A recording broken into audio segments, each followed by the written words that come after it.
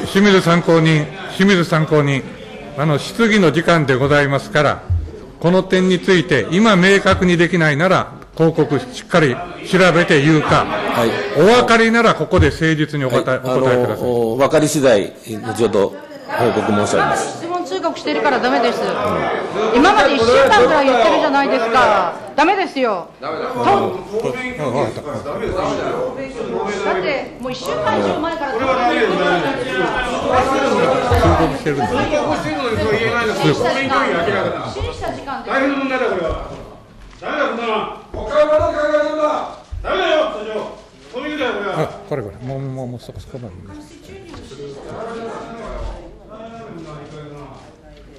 そうじゃダメだよほとんどいらないもともと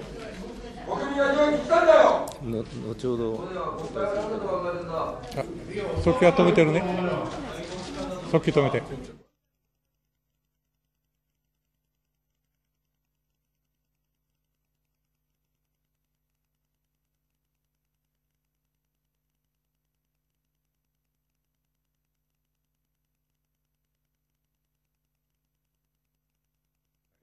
速記起こして。